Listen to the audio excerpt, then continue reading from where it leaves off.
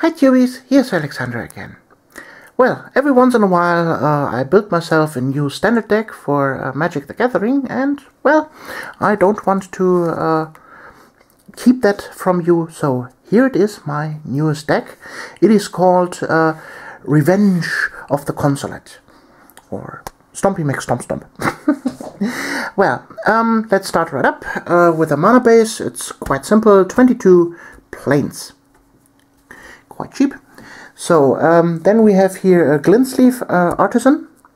Uh, as a single card. Uh, this was just a filler card. Uh, you can uh, put in whatever you want. Uh, I personally like him. Uh, he can do work on its own. it's basically a 3-3 for 3 or a 2-2 for 3 with a 1-1. So, then we have a, a Gear Smasher Colossus, 4-5 creature for 5 mana. Uh, with vigilance, and uh, when he enters the battlefield, uh, you and your opponent each chose an enchantment, a creature, an artifact, and a planeswalker, and you sacrificed the rest.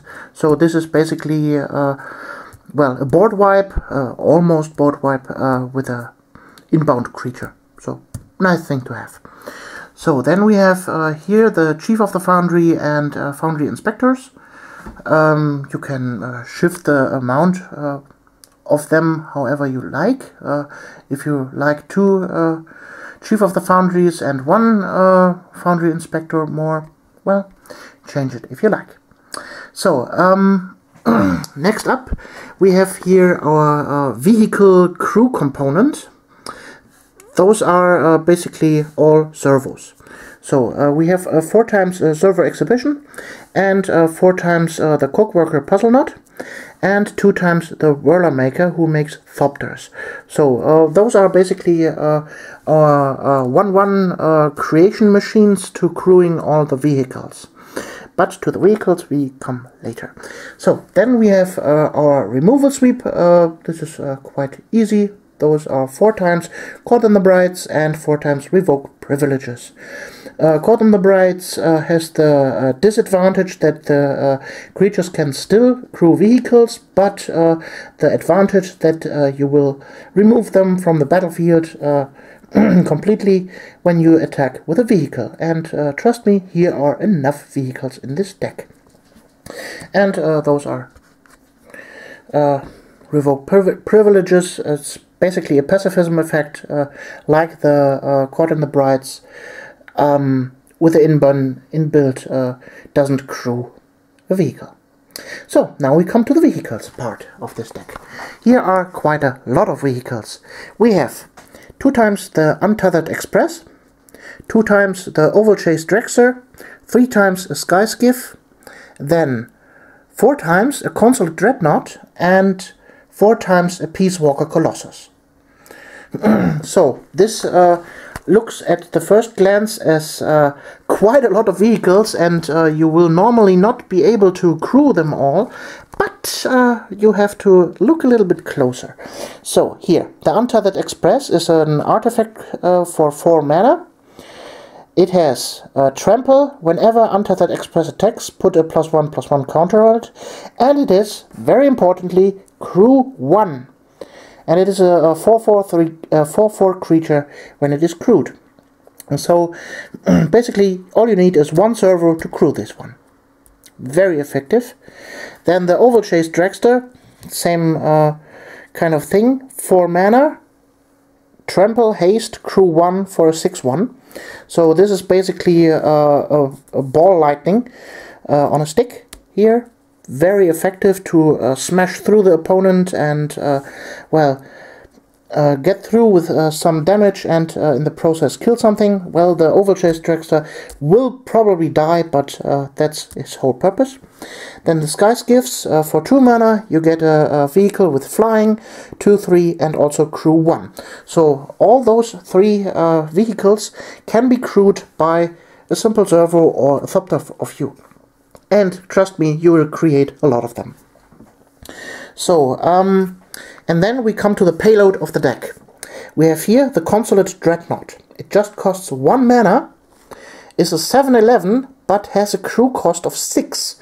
So he's uh, very um, hard to crew, but the payload is this here.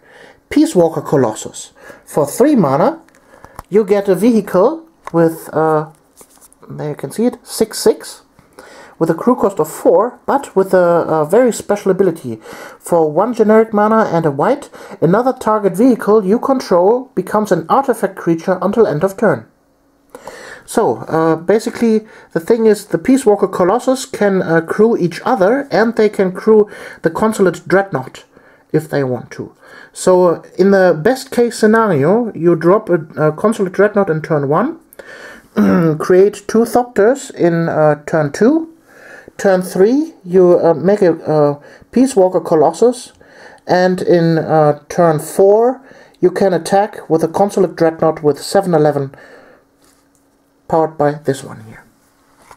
So, um, overall, this deck is, um, well, somewhere in the middle between an aggressive deck, like a, a Red Goblin deck or something, and a mid-range deck. So, it is quite fast uh, and quite reliable.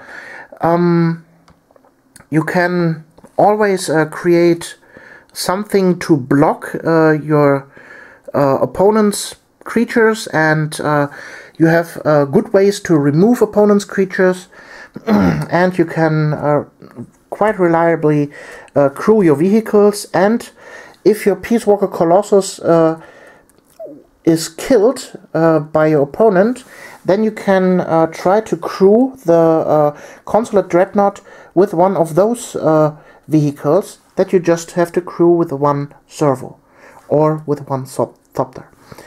So um, let's talk a little bit about uh, variants of this deck. You could uh, also include uh, the card uh, Sram's Expertise. It's for 4 mana, it's an uh, sorcery. And you create uh, 3 servo tokens, and you get the ability to cast a, a spell for 3 mana for free. For, well, with this spell you can cast here the Whirlermaker for free, or um, a Peacewalker Colossus, or here the uh, Glintsleeve Artisan, or one of the uh, foundries here, Foundry Inspector, or uh, Foundry. Uh, uh, well, you know what I mean. So, um, uh, other things you could uh, put into the deck uh, from um, the Gatewatch uh, set, uh, there is uh, an artifact equipment, the Captain's Claws.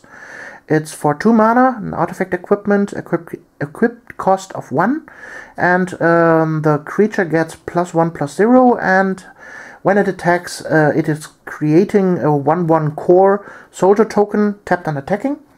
And uh, with that, you can uh, increase the amount of 1 1 creatures that you have. Uh, also, another uh, good include if you don't have uh, here the Peacewalker, uh, the Gear Smasher Colossus, or this one here, uh, you can include the uh, Angel for 5 mana with Fabricate 2. All other creatures get plus 1 plus 1. Flying Vigilance Lifelink.